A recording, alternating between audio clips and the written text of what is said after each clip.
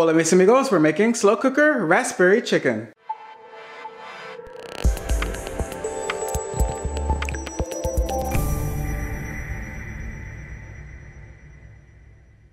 We're going to start off by making the raspberry sauce. So here I have one cup of raspberry jam and to that I'm going to add one half of a teaspoon of crushed red pepper flakes. That was actually more than a half of a teaspoon but that'll be fine.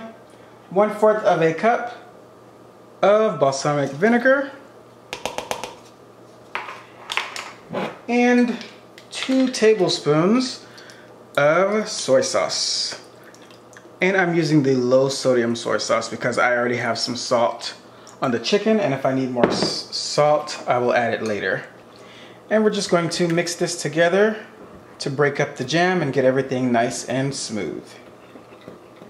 I think it was in my last slow cooker video where I mentioned that I wanted to get one of these bigger slow cookers because I was tired of squishing everything into my previous one. So I finally went ahead and got one. This is the bigger, more oval shaped slow cooker and this is the 8 quart one so it is actually twice as big as my last one so I'm pretty excited about that. So here in this slow cooker, I have about two pounds of boneless, skinless chicken breasts that have been seasoned on both sides with salt and pepper. And I am just going to add in the raspberry sauce that we created earlier.